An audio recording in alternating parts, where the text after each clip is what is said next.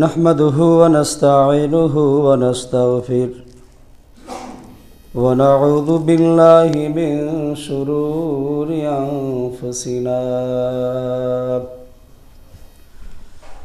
من يهده الله فلا مضل له ومن يضلله فلا هادي له الذي يرسل إلى الناس كافة كافة بشيرا ونذيرا وداعيا إلى الله.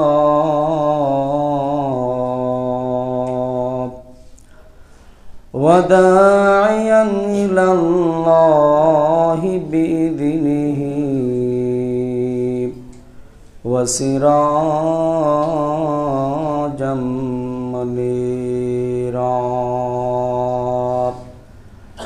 أما بعد فأعوذ بالله من الشيطان الرجيم. بسم الله الرحمن الرحيم. قتل الإنسان.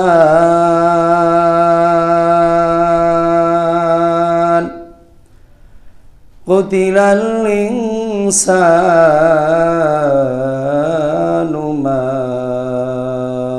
أكفره وقال رسول الله صلى الله عليه وسلم أفضل العبادة تلاوة القرآن أو كما قال عليه الصلاة والسلام সকলে মোহব্বতের সাথে জবানটা খুলে দরুদ ইব্রাহিম পাঠ করি اللهم صل على محمد وعلى آل محمد كما صليت على إبراهيم وعلى آل إبراهيم إنك حميد مجيد.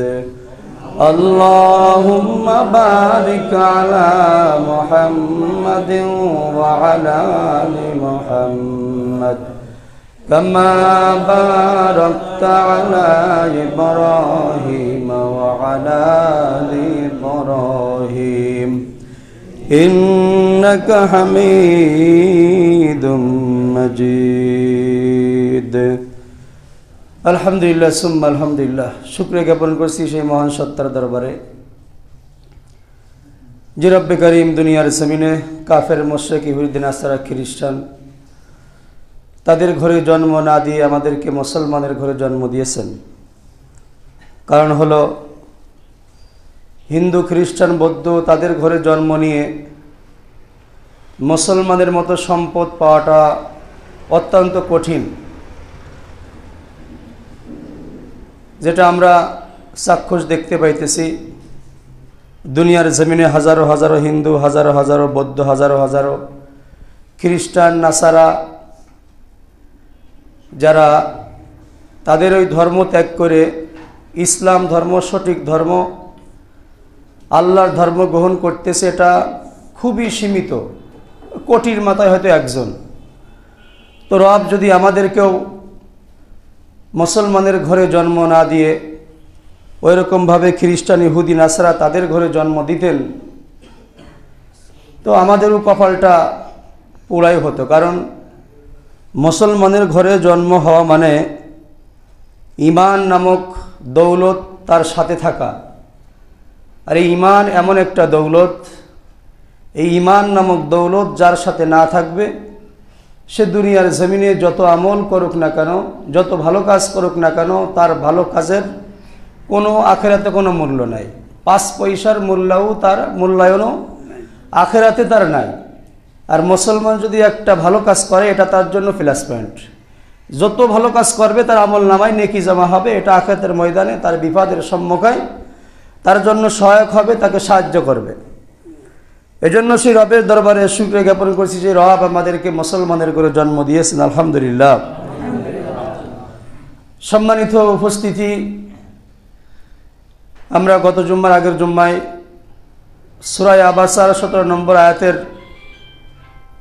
কিছু ব্যাখ্যা, তাফসির শুনতেছিলাম। তো আলোচনা করতে করতে একটা পর্যায়ে আমরা গিয়েছিলাম। তো মূল উদ্দেশ্য ছিল, যে আল্লাহ তালাই সুরায় আবাসার সতেরো নম্বর আয়াতটা কেন অবতীর্ণ করলেন? বান্দার উপর অত্যন্ত অসন্তুষ্ট হয়ে আল্লাহ তালা আয়াতটা অবতীর্ণ করেছেন।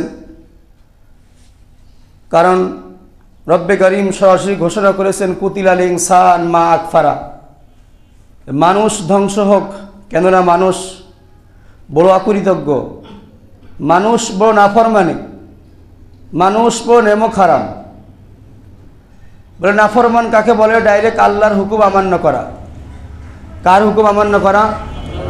আল্লাহর হুকুম আমান্য করা। যেমন আল্লাহ তালা একায়তের মধ্যে স্পষ্ট বলেছেন আহাল্লাহুল বাইয়া ওয়াহার রমার রিবা ওয়াহার রমার রিবা। আল্লাহ তালা ব্যবসাকে হালাল করেছেন, সুদকে হারাম করেছেন। এটা স্পষ্ট কথা, কিছু কিছু কথা আছে অস্পষ্ট। কিন্তু এটা হলো কি? আহাল্লাহুল বাইয়া। আল্লাহ তালা ব্যবসাকে অধিক হালাল করেছেন। আহাল্লাহ ইসমে তাবজিলের সিগা ব্যবহার করেছেন। মানে অধিক হালাল করেছেন ব্যবসা। ওয়াহার রমার রিবা এবং সুদকে হারাম করেছেন। এর মধ্যে কোনো গুলোযোগী নাই। একেবারেই স্পষ্ট।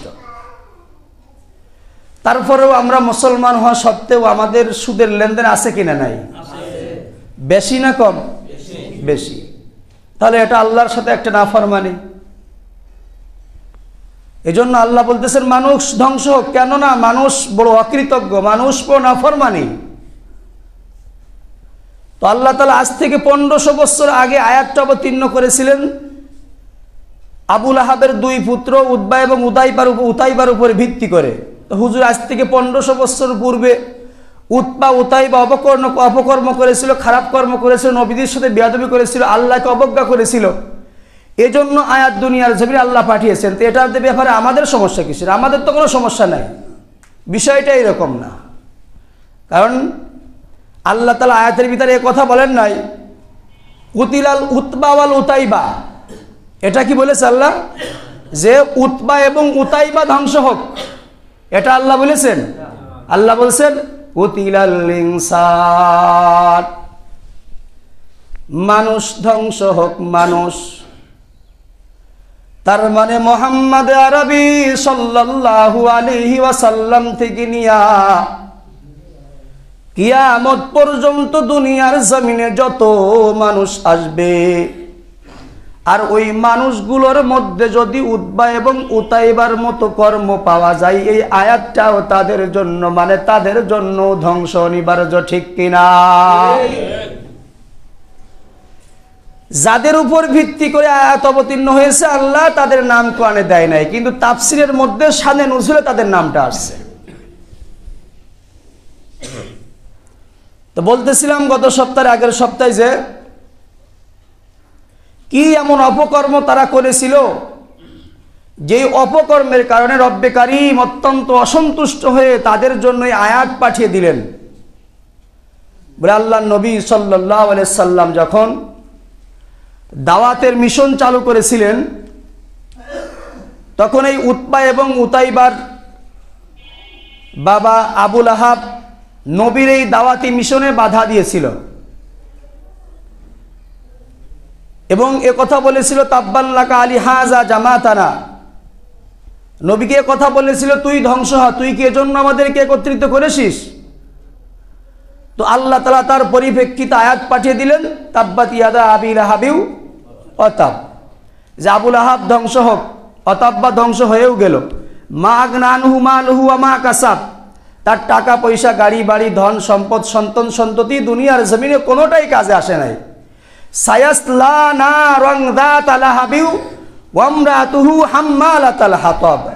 ওসিরেই আবুল আহাব এবং তার স্ত্রী জাহান নামের আগুনে জ্বলবে। বলে তার স্ত্রী কেন আগু- আগুনে জ্বলবে? বলে তার স্ত্রী হাম্মাল আতাল হাতব এই হাতাব শব্দের দুইটা ব্যাখ্যা ধরেছে। এক নম্বর ব্যাখ্যা হলো, এই আবুল হাবের স্ত্রীর নাম ছিল উম্মে জামিল। এই উম্মে জামিল লাকড়ি দিয়ে প্রতিবন্ধকতা সৃষ্টি করত। আর একটা ব্যাখ্যা হলো, এই উম্মে জামিল মানুষের ঘরে ঘরে গিয়ে বলে বেড়াইতো, মোহাম্মদ পাগল মোহাম্মদ পাগল, তোমরা মোহাম্মদের কাছে যাইও না। মোহাম্মদ পাগল, মোহাম্মদের কাছে গেলে সমস্যা? বলে, কিসের সমস্যা? বলে, মোহাম্মদ এমন একটা বানানো বাণী তেলাওয়াত করে যেটা শুনলেই মানুষ মুসলমান হয়ে যায় সুবাহান আল্লাহ বানানো বাণী, আল্লাহ দেয় না, ও বানাই বানাই বলে। ওর মুখের সাথে জাদু আছে, কথার সাথে জাদু আছে, গিয়ে তেলাওয়াত করলেই মানুষ যেটা বলতেছিলাম আগের সপ্তাহে, ওই যে আবু জাহাল উদ্বা সাইবা আবুল আহাব, তারা যখন দেখল কোনো কিছুতেই কোনো কাজ হয় না, মোহাম্মদের কাছে যেই যায় সেই মুসলমান হয়ে যায়। মুসলমানের কাছে যেই যায়, মোহাম্মদের কাছে যেই যায় সেই ইসলাম ধর্ম গ্রহণ করে। এবার ওই যে বলতেছিলাম, ওই জামাত নামক জাদুকারকে মোহাম্মদের কাছে নিয়ে আসলো। মোহাম্মদের বাণীটাকে জাদুর বাণী বানাবে জন্য আল্লাহ আকবর এই জামাত নামক জাদুকার আল্লাহর নবী সাল্লাল্লাহু আলাইহি ওয়াসাল্লামের কাছে আসার পরে আবু জাহাল বলে, ও জামাত, মোহাম্মদের জবান থেকে কোনো তেলাওয়াত শোনা যাবে না। বলে, কেন তেলাওয়াত শোনা যাবে না? বলে, ওর তেলোয়াতের মধ্যে একটা আকর্ষণ আছে, ওর তেলোয়াতের মধ্যে একটা জাদু আছে। ওর তেলোয়াত শুনলে সেই ইসলাম ধর্ম গ্রহণ করে সুবাহান আল্লাহ জামাত বলে, তুমি কি পাগলের মতো কথাবার্তা বলো? আমি তার তেলওয়াত না শুনলে কেমনে বসবো? এটা জাদুর বাণী নাকি আল্লাহর বাণী? বলে, তাহলে শুনবা, অল্প শুনবা, বেশি শুনবা না। বেশি শুনলে তো সমস্যা। এবার মুসলমান জামাত নামক জাদুকার নবীর নিকটে গিয়ে বলে ও মোহাম্মদ তোমার বাবার নাম কি বলে? আবদুল্লাহ মায়ের নাম কি? আমেনা দাদার নাম কি? আব্দুল মুত্তালিব। বলে, তুমি নাকি কি তেলাওয়াত করো, জাদুর বাণী? তোমার তেলাওয়াতটা একটু আমাকে শোনাও দি। এবার আল্লাহ নবী সাল্লাল্লাহু আলাইহি ওয়াসাল্লাম কোরআনুল কারীম থেকে তেলাওয়াত শুরু করল। জামাত নামক জাদুকার নবীর এই কথাগুলোকে, বাণীগুলোকে আল্লাহ আকবার জাদুর ভাষা বলে জ্ঞান করার জন্য আসছে। কিন্তু নবী যখন তেলাওয়াত করে নবীর তেলাওয়াত শুনিয়া জামাদের চক্ষু দিয়ে ঝরঝর ঝরঝর করে পানি জ্বলতেছে সুবাহান আল্লাহ এবার নবী তেলাওয়াত বন্ধ করে দিয়েছে, মোহাম্মদ কেন তেলাওয়াত বন্ধ করলে? এত সুন্দর তেলাওয়াত তুমি বন্ধ করিও না, তুমি তেলাওয়াত করো। এবার নবী আবার তেলাওয়াত শুরু করল। এবার জামাতের মুসলমান কলিজার মধ্যে আঘাত করেছে। রব্বে কারিমের রহমতের দরিয়ার মধ্যে জোয়ার এসে গেছে। এবার জামাত নামক জাদুকার বলে, মোহাম্মদ, বন্ধ করো বন্ধ করো। তোমার তেলোয়াত আর আমি শুনতে পারি না। এটা দুনিয়ার জমিনে কোনো বানানো কথা না। এটা কোনো জাদুর ভাষা না। এটা আল্লাহর বাণী কোরআনুল কারিম সুবাহান আল্লাহ এই জামাত নামক জাদুকার সাথে সাথে মুসলমান হয়ে গেল। যাদেরকে নিয়ে আসার নিয়ে আসে ইসলাম ধর্ম থেকে বিরোধ রাখার জন্য দূরে রাখার জন্য আল্লাহ আবার তাদেরকে মুসলমান তারা দলে বানিয়ে দেয়। এবার মুসলমান আবুল আহাব দুই সন্তানকে ডাক দিল। তার স্ত্রীকে ডাক দিল ডাক দিয়ে বলে ও উতবা এবং মুতাইবা আমার বিরুদ্ধে আর তোর মার বিরুদ্ধে মোহাম্মদের কাছে আয়াত নাজিল হয়েছে হ্যাঁ? এ তাব্বাতি আদা আবিল আহাবি ওয়াতাব এটা কি আবুল আহাবের পক্ষে না বিপক্ষে? হ্যাঁ? বিপক্ষে না? মানে আবুল আহাব ধ্বংস তার স্ত্রী সে জাহান নামে যাবে। এই যে অবতীর্ণ হলো, সন্তানদেরকে ডেকে বলতেছে যে তোর আমাদের বিরুদ্ধে আর তোদের বিরুদ্ধে মোহাম্মদের কাছে আয়াত অবতীর্ণ হয়েছে। তো কি করা যায়? বলে তুই গিয়ে মোহাম্মদকে বলবি যে তোমার আল্লাহ টাল্লা মাদিনা নাউজুবিল্লাহ মানে দুই ছেলেকে বলতেছে, তোরা গিয়ে বলবি যে মোহাম্মদের কাছে গিয়ে বলবি, তোমার আল্লাহ টাল্লা মানি না। আর কি করবি? গিয়ে বলবি যে, তোমার দুই মেয়েকে তালাক দিলাম। তবে আল্লাহ নবী সাল্লাহ সাল্লাম নবুয়াদ প্রাপ্তির আগে এই দুই কন্যাকে এই উৎবা উতাইবারের সাথে বিবাহ দিয়েছিল কত অবজ্ঞা। গিয়ে বলবি তো আল্লাহ টাল্লাহ মাই না। আর যদি না বলিস, এদিকে যখনই আবুল আহাব বলল, আমার বিরুদ্ধে তোর মার বিরুদ্ধে মোহাম্মদের কাছে আয়াত অবতীর্ণ হয়েছে উম্মে জামিল ক্ষিপ্ত হয়ে গেছে, মহিলা মানুষ। হাতের মধ্যে পাথর নিয়ে নবীকে মারার জন্য যায়। আল্লাহ নবী সাল্লাল্লাহু আলাইহি ওয়াসাল্লাম খানায় কাবার সম্মুখে বসা। সিদ্দিক আকবর একেবারে পাশে বসা, বলে, নবী, দেখেন আপনার শাসি আপনাকে মারার জন্য আসে। মহিলা মানুষ তো একটু ক্ষিপ্ত হয়ে গেলে শাড়িটাকে মাজার মধ্যে সুন্দর করে বাদিয়া মোহাম্মদ ক্যাশগ্যার্থ হবে না। মোহাম্মদ রাজকে মেরেই ফেলবে। অথচ মোহাম্মদের শরীরে রব্বে কারিম তিরিশ হাজার দুনিয়ার যুবকের শক্তি দিয়েছে সুবার আল্লাহ তিরিশ হাজার যুবকের শক্তি। সিদ্দিক একবার বলে আর রসুল আল্লাহ হাবিব আল্লাহ মহিলা মানুষ কিছু বললেও তো সমস্যা। হ্যাঁ? মহিলা কেস জটিল কেস না? ও ধাক্কা দিলে পড়ে যাবে, এখন মা ডারি কেস হয়ে যাবে। মহিলা মানুষ বলাও সমস্যা, ওদেরকে থামানো যায় না। কি যে বেজাল এই যে সফর করি, গাড়ির মধ্যে উঠলি, ওরা যদি দুইজন থাকে, তাহলে বোঝা যায় যে দুইজন মহিলা গাড়ির মধ্যে আছে। কত সমস্যা। মানে পারিবারিক যত সমস্যা আছে, দুইজন এক জায়গা হলে সব বলবে পুরুষ মানুষ ওখানে থাকতে পারবে না। আল্লাহ আকবার, উম্মে জামিল মহিলা মানুষ, আপনি এখন কি করবেন? আপনাকে মারার জন্য আসছে। আপনি তো কিছু বলতেও পারবেন না, আপনার শাসি মুরব্বী মানুষ।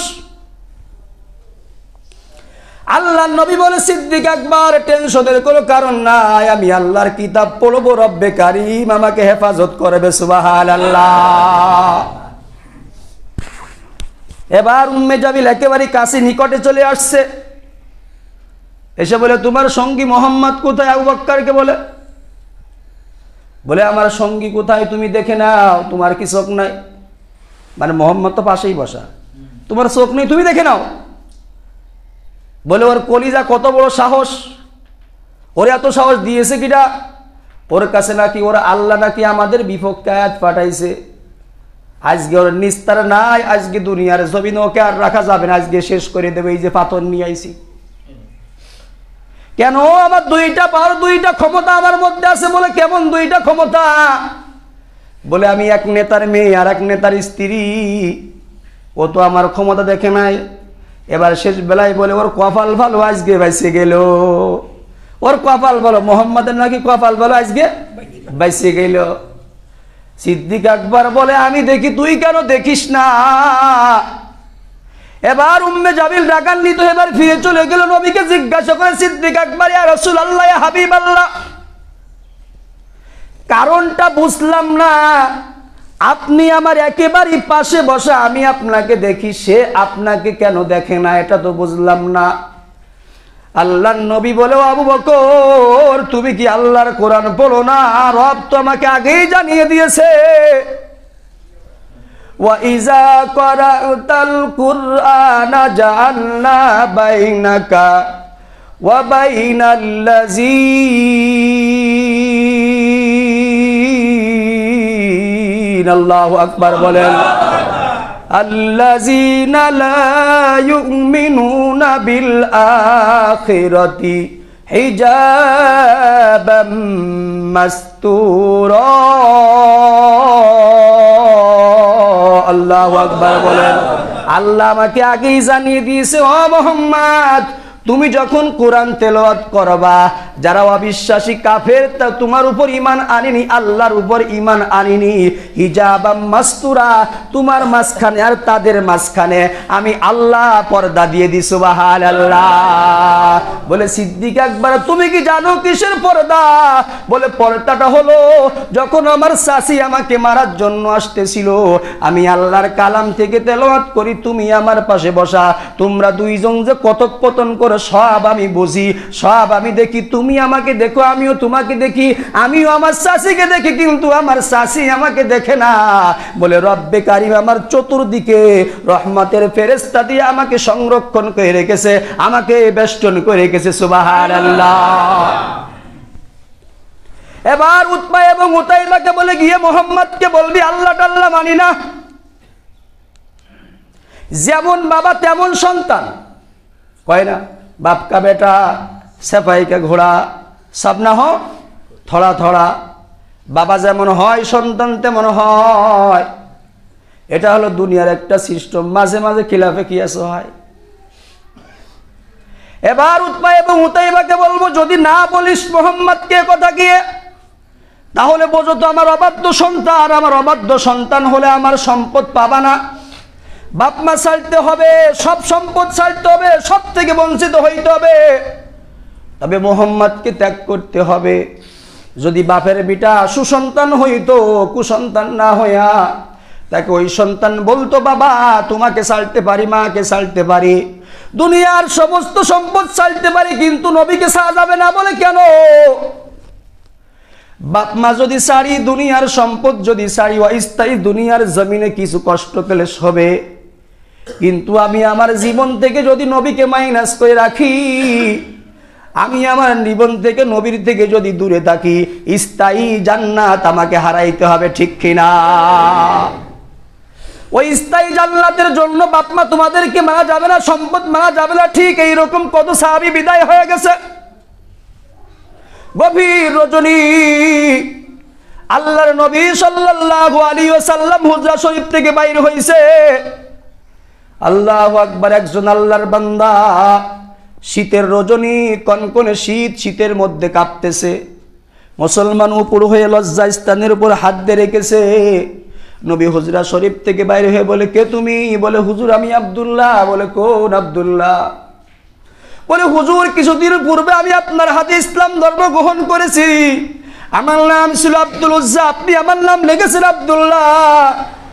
বলে, আবদুল্লাহ, তো ধনী বাবার ছেলে সকালবেলা এক পোশাক পরে বিকেল বেলা এক পোশাক পরে, এখন উলঙ্গ কেন? বলে, হুজুর, আমি আপনার দরবারে আসা যা করি দেখে আমার চাষা আমাকে বলে দিয়েছে ও আব্দুল উজ্জা, ভাই মোহাম্মদের দরবার ছাড়বি, নইলে বাপদাদার সব ধর্ম ছেড়ে দিবি, বাপদাদার সমস্ত সম্পদ থেকে বঞ্চিত হবি। আমি আমার চাচাকে স্ট্রং বলে দিয়েছি, চাচা। বাপ ছাড়তে পারি, মা ছাড়তে পারি, সম্পদ ছাড়তে পারি, কিন্তু মোহাম্মদকে ছাড়া যাবে না, আল্লাহ আকবার বলে। মোহাম্মদের দরবার ছাড়া যাবে না। আমি আমার চাচাকে কথা বলে যখন ফিরে আসতেছিলাম, আমার চাচা পিছন থেকে আমাকে ডাক দিয়ে বলে, ভাতিজা, তোমার বডির মধ্যে যে জামা আছে, ওটা তো তোমার বাবার সম্পদ। তোমার শরীরের মধ্যে যে পায়জামা, পাঞ্জাবি আছে তোমার বাবার সম্পদ। তোমার মাথার মধ্যে যে কাপড়টা আছে, ওটা তোমার বাবার সম্পদ। ওগুলো নিয়ে তুমি কোথায় যা উদ্দেশ্য হলো? লজ্জা দিলে হয়তো একটু অনুগত হবে, একটু অনুতপ্ত হবে। কিন্তু মুসলমান আব্দুল উজ্জা কি করল? বডির থেকে সমস্ত কাপড়গুলো খুলিয়া চাচার দিকে নিক্ষেপ করল, বলো, বাবার কোনো সম্পদ আমার লাগবে না। মায়ের কাছে গিয়ে বলে, মা, আমার লজ্জা স্থান ঢাকার জন্য একটু কাপড় দাও। আমি নবীর দরবারে যাব। আমি নবীর দরবারে গেলে নবীর চেহারা দেখলে আবার সব খোদা নিবারণ হবে সুবাহান আল্লাহ আল্লাহ নবী কয়, আব্দুল্লাহ, আয় আমার কামরার মধ্যে আয়। নবীজি আব্দুল্লাহকে ভিতরে ঢুকাইয়া নিজের শৈলের পোশাক, নিজের ব্যবহারকৃত পোশাক আব্দুল্লাহকে দিয়ে দিয়েছে সুবাহান আল্লাহ এবার মুসলমান নবীজি বলে, আব্দুল্লাহ, তোর মনে করো তামান্না আসেনি বল, কোনো আশা আসেনি তুই আজকে যেই কুরবানিটা করেছিস, বল, তোর মনে কোনো আশা আসেনি কোনো তামান্না সিরি আব্দুল্লাহ বলে আর সুলাল্লাহ হাবিব আল্লাহ আমার মনের মধ্যে একটা তামান্না, একটা আশা। সেটা হলো দুনিয়ার জমিন থেকে আমি শহীদ হয়ে মৃত্যুবরণ করতে চাই। শাহাদতের পেয়ালা পান করে মরতেছে, আপনার জবান থেকে শুনেছি, যদি কোনো মানুষ শহীদ হয়ে দুনিয়ার জমিন থেকে বিদায় নেয়, ওই মানুষটা বিনা হিসেবে আল্লাহর জান্নাতে যাবে, তার কোনো হিসাব দেব লাগবে না সুবান আল্লাহ নবীজি আবদুল্লাহর জন্য দোয়া করে দিল নবীজির দোয়া কবুল হয়ে গেল। কিছুদিন পর তাবুকের যুদ্ধ। তাবুকের যুদ্ধ মুসলমান হইল না, প্রত্যাবর্তনের সময় আবদুল্লাহ অসুস্থ হয়ে মৃত্যুবরণ করল। নবীজি আগেই ঘোষণা করে দিয়েছে, যখন কোন বাংলা বাসারে থেকে যুদ্ধের জন্য জিয়াদের জন্য বাইরে হয়, আল্লাহ আকবার যদি প্রতিমধ্যে মারা যায়, সে শহীদের মর্তবা পাইবে। আবার যদি যুদ্ধ ময়দানে মারা যায়, তারপরেও সে শহীদের মর্তবা পাবে। আবার যদি ফিয়ার পথে মারা যায়, যতক্ষণ পর্যন্ত বাসায় না ফেরেবে অতক্ষণ পর্যন্ত সে শহীদের মর্তবা পাবে সুবাহান আল্লাহ গোসল দাও, দাফন কাপড় সবকিছু আমি নবী নিজে পড়াবো সুবাহান আল্লাহ আমি মুজে নবী নিজে নামাজ পড়াবো। আল্লাহ নবী সাল্লাল্লাহু আলাইহি ওয়াসাল্লাম জানাজান নামাজটা পড়াইয়া, এবার মুসলমান বলে, সাহাবীরা কেউ তোমরা কবরে নামবা না। আবদুল্লাহর কবরের মধ্যে আমি নবী নিজে নামব। আল্লাহর নবী সাল্লাল্লাহু আলাইহি ওয়াসাল্লাম কবরের ভিতর নামিয়া এবার সাহাবীদেরকে বলে, ও আবার সাহাবীরা, দাও আব্দুল্লাহ লাশটা দাও। এবার আব্দুল্লাহ লাশটা হাতের মধ্যে নিয়া নবী উঁচু উঁচু করে ফেলেছে, আসমানের দিকে উঠাই ফেলেছে। বলে, আল্লাহ,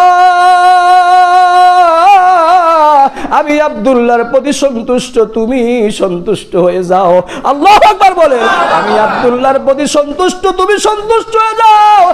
এই দৃশ্য দেখিয়া সাহাবীরা গৌড়িয়ে গৌড়িয়ে কান্নাকাটি করে। আল্লাহর নবী সাল্লাল্লাহু আলাইহি ওয়াসাল্লাম কয়, আল্লাহ, আমার কোল থেকে তোমার রহমতের কোলে আব্দুল্লাহকে দিয়ে দিলাম। বিশেষ করে সাদ ইবনে আবু আক্কাস। চিল্লায়া চিল্লায়া কান্দে। আর বলে, ও আব্দুল্লাহ, এই লাশটা তোর না হইয়া যদি আমার হইতো, আমি কত বড় ভাগ্যবান হইতাম। ও মুসলমান এই আব্দুল্লাহ নবীজির জন্য জীবন দান করেছে। বলে, নবীজির জন্য জীবন দান করে মুসলমান, সে কিন্তু লস হয় নাই, তার কিন্তু ক্ষতি হয় নাই। চিরস্থায়ী সম্পদ জান্নাত সে কিনে নিয়েছে, ঠিক কিনা? সময় হয়ে গেছে। অপরাধের কথা তো এখন বলতে পারলাম না। তো যাই হোক, আল্লাহ তালা যতটুকু কথা শুনলাম, সকলকে আমার কর্তা অফিক দান করে সকলে বলে আমি